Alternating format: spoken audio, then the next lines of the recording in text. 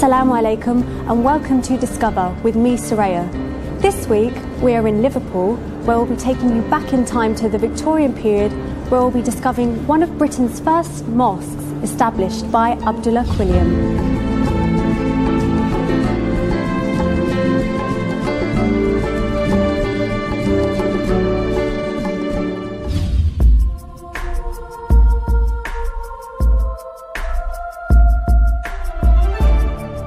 Admire him because I feel he was single minded and very brave in very difficult times to be like that. I think he was someone who worked tirelessly to give back to his community, both the, the, the poor and the needy, and those who were well established and um, sort of intellectual and um, quite wealthy as well. So he really reached out to, to all sorts of people in the community, worked very hard on their behalf. Born in 1856, William Henry Quilliam was the son of a wealthy watchmaker and became a solicitor after training at the Liverpool Institute. He was a wonderful grandfather. He loved children and he used to come to the house at Christmas and he used to bring fabulous presents and our eyes used to pop out because he was a very generous man and he just sort of had um, a very, very special appearance. He used to always wear a frock coat with an astrakhan collar, and he used to have long hair over his astrakhan collar, and he always wore tails and striped trousers, and that was his permanent uniform. That's how he always dressed. He was what is, was known in those days as a poor man's solicitor. In other words, in his practice, it, and in Liverpool, where he had his big practice, they used to have what they called in Liverpool Mary Ellens, who were the flower women that used to sell flowers in the street. And uh, they all had daughters that had illegitimate children, and they used to go to my grandfather to get paternity orders to make the father pay for these illegitimate children. When he used to go through the streets, the flower women used to throw their flowers under his carriage out of, out of gratitude because he never charged them. They used to come to him and they used to say, Will you take a paternity order for my daughter? And they used to say to him, We haven't got any money. And my grandfather said, Well, what have you got? And they'd hold their hand out and there'd be a shilling in the middle of their palm. And he'd say, No, you keep that, but I'll take your case. But life as a lawyer took its toll on Quilliam, and in 1882 he travelled to Morocco and Algeria, and it was there that his fascination with Islam began. At the age of 31, he reverted to Islam and took the name Abdullah. Returning to Liverpool, Abdullah began to spread Islam among the masses as Sheikh Abdullah Quilliam. And it was then that he really engaged with the British white community in Liverpool and brought them to the faith as well.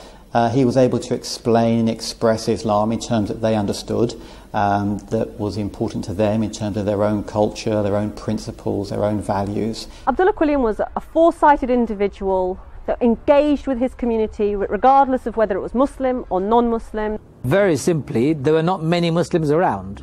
And of course, the local Christian communities were up in arms, and there were a lot of press criticism. Even then, nothing new, I suppose. Those are the key challenges. But I think more importantly, the biggest challenge they faced was to keep up with their faith, practice it.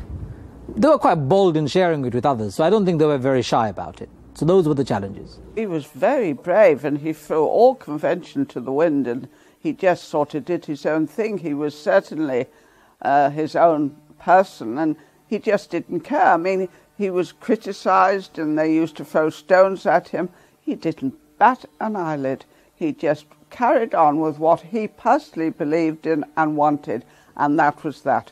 Abdullah Quilliam is what we could call a pioneer for the whole world and for many, many Muslims, and has an, an astonishing legacy that he left behind. He came from a, um, a Methodist background and he was also uh, one of the uh, legal eagles in the city as well.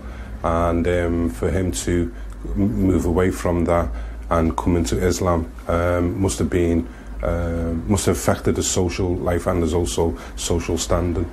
Particularly after he converted to Islam, he did a lot of work in the community to support children. He founded an orphanage in Liverpool, also schools and uh, an institute of learning. He was a person who believed uh, what, his, what he felt strongly about. And in, in 1889, he strongly felt about his belief as a Muslim uh, to introduce Islam in, in, the, in, the, in England. And in those days, of course, Liverpool being a port and a very busy port, one of the busiest ports, the ships used to come in with the lascars on them.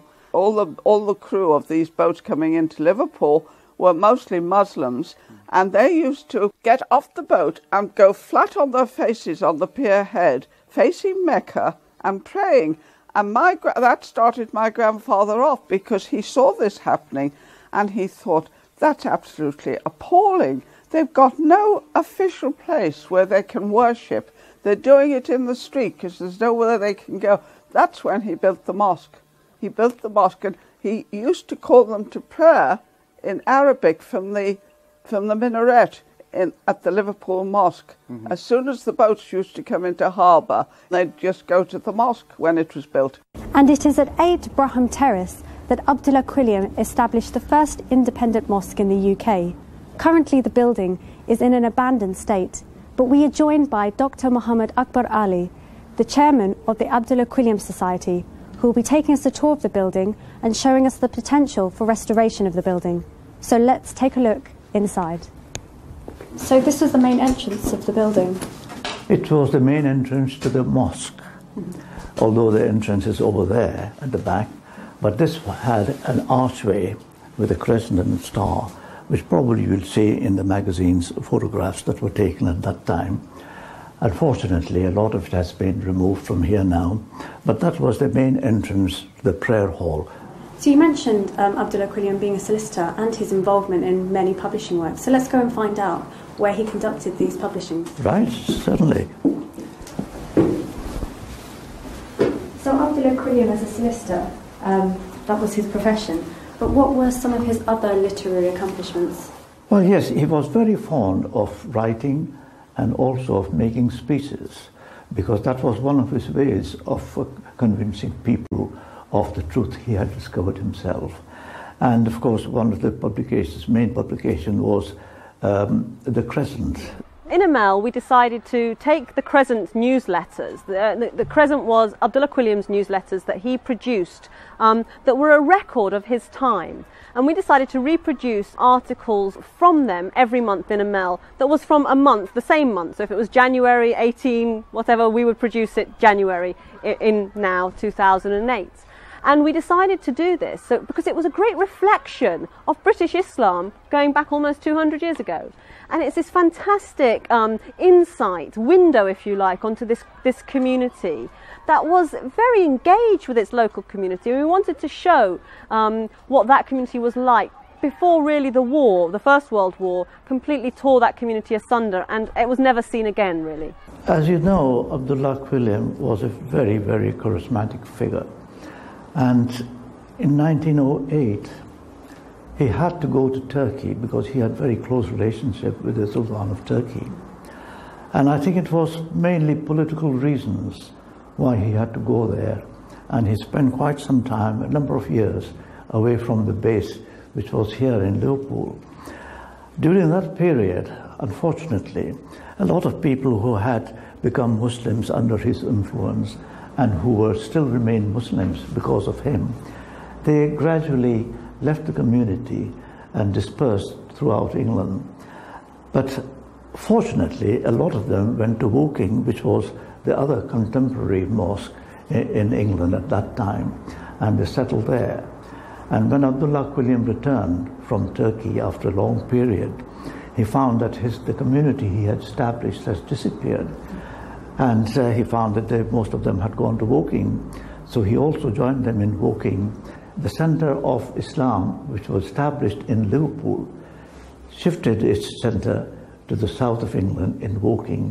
Why is it important this, that this centre is restored? Well, what can we do to help? It is so important because it is the legacy of a genuinely indigenous British Muslim.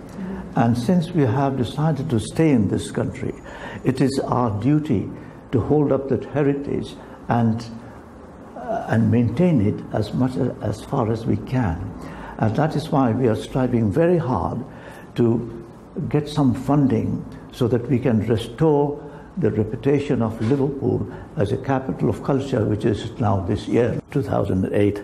And we would like to see that uh, Islam is revived in this area and that we re-establish the center which was established by, by Abdullah Quilliam in, in the 1898.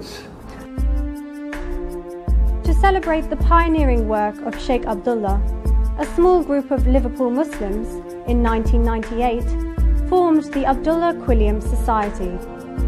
The Abdullah Quilliam Society aims to raise financial support to refurbish the premises and return it to being a centre of Islamic excellence, as it was 100 years ago, and to take it into the 21st century as the Abdullah Quilliam Heritage Centre. I think the Quilliam Society is, is a great idea, um, even though I'm not a Muslim myself, but um, to Muslims, local Muslims, which more and more, um, it must be a great um, society for them to come to and get help and uh, advice. I think it's always important to realise the history behind 8 Brougham Terrace and what the Abdullah Quilliam Society want to achieve not only for the Muslim community in Liverpool and the Northwest region, but also to break down the barriers that exist in lots of societies now with intolerance. So I think it's a wonderful way forward to teach the Islamic faith to the people of the city, whatever gender, whatever religion, or whatever race they come from. This is the first mosque that I know of which was truly British and started here. And being a Muslim, it particularly interested me. It was an interesting building also because it's a listed building built in 1830s, something like 175 years ago. And more than 100 years ago, uh, Abdullah Quilliam, when he took over this building, he made an interesting change and brought it a new, brought in new features to this building. Uh, as an architect, I'm obviously keen and interested to see how this can be developed further. We actually say, you know, we're working on the first mosque that was in England. And everything has had, shall we say, uh, full and utter discussion. The mix of the cement had to be what was done in the late 20th century. The stainless steel gutters have got to look like lead. All the pipework has got to look authentic as we can, but with modern materials. And that's the challenge. It is really a great honour and a privilege to be involved um, with the first mosque in England, which was set up by an Englishman on an English soil 120 years ago.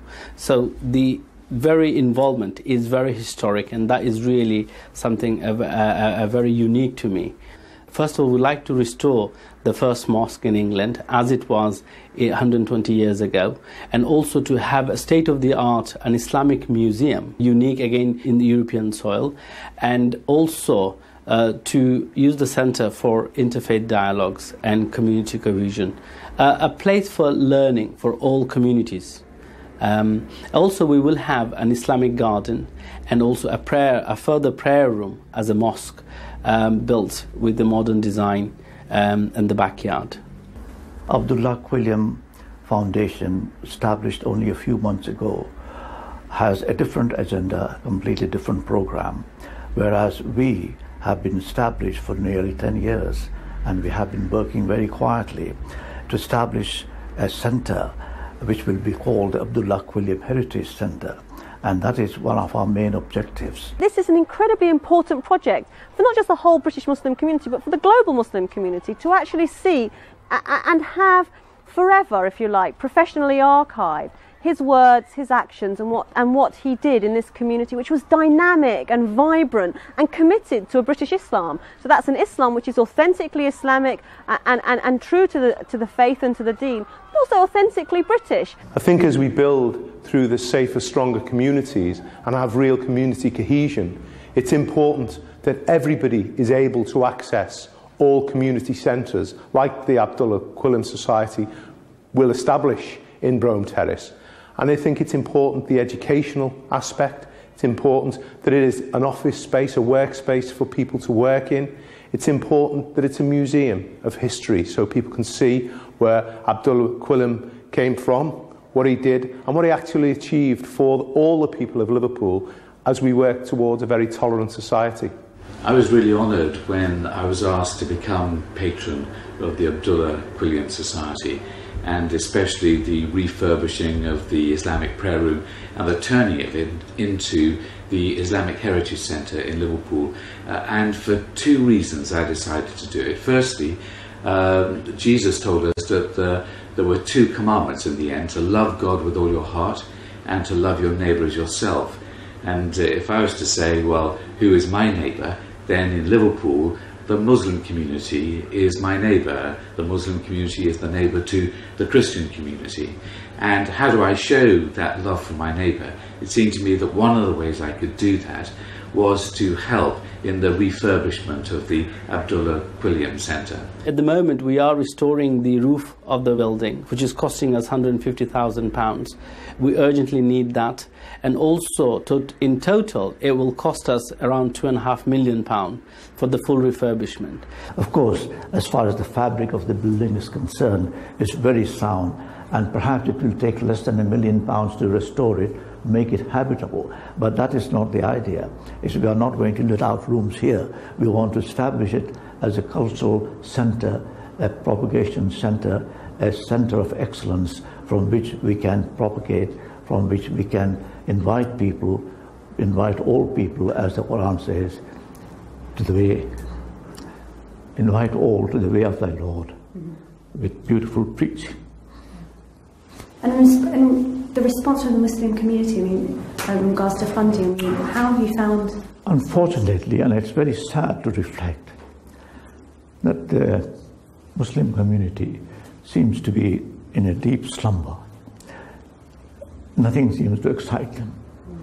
And as I said, this is the only heritage which has been left to us, the only legacy, and we are unable to raise funds to refurbish it.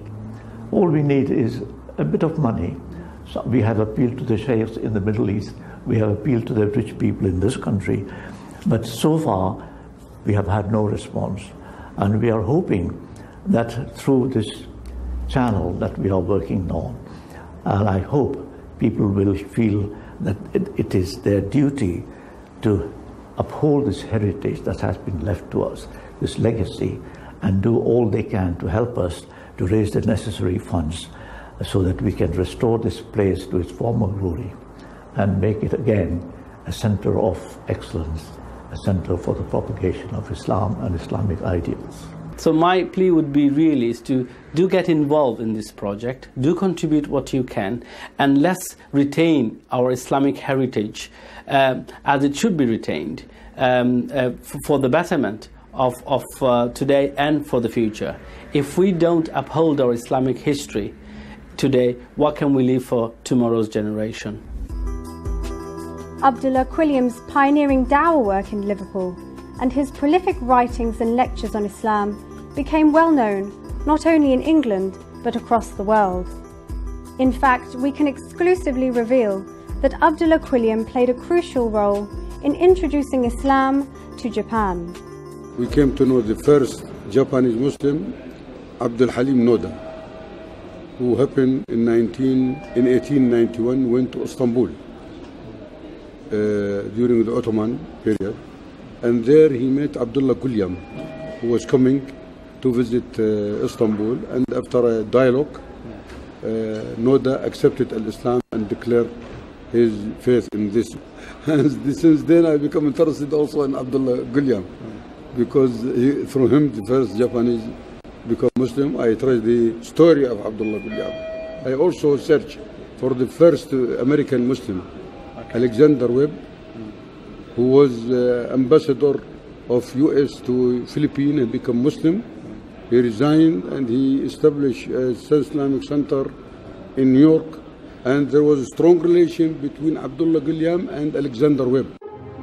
Abdullah Quilliam's legacy lives on and Western Muslims, particularly reverts to Islam, see him as a forefather of the path they have undertaken.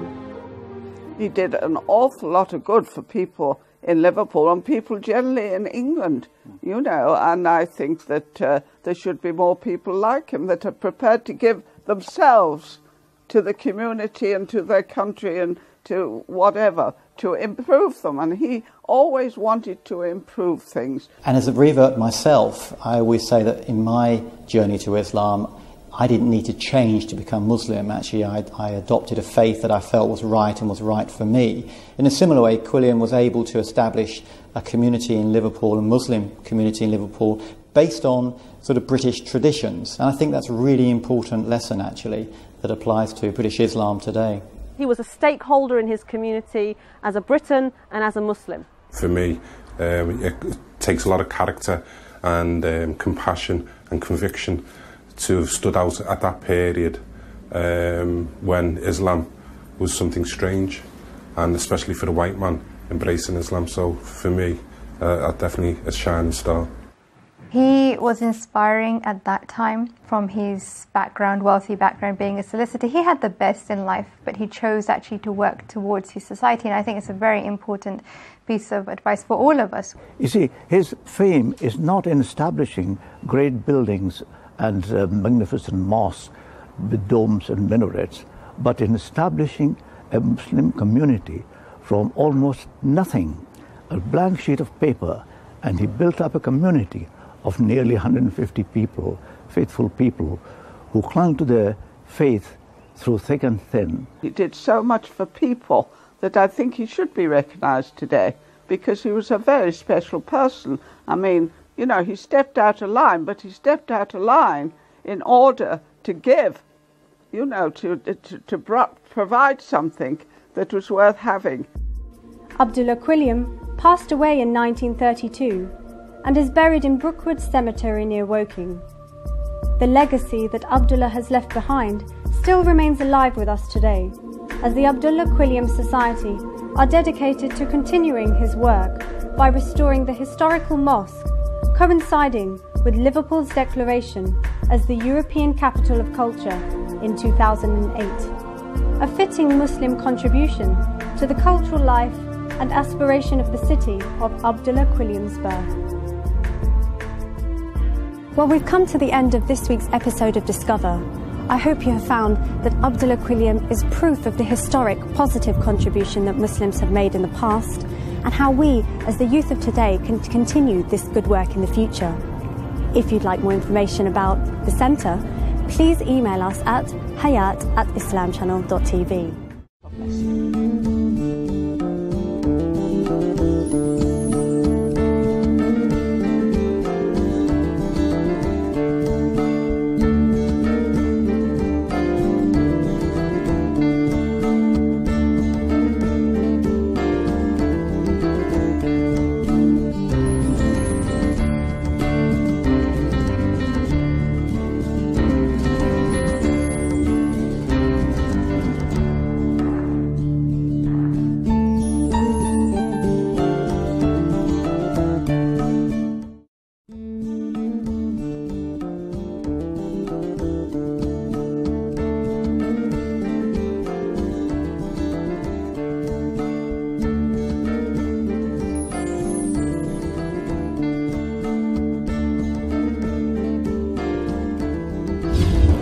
Assalamu alaikum and welcome to Discover with me, Soraya. This week we are in Liverpool where we'll be taking you back in time to the Victorian period where we'll be discovering one of Britain's first mosques established by Abdullah Quilliam.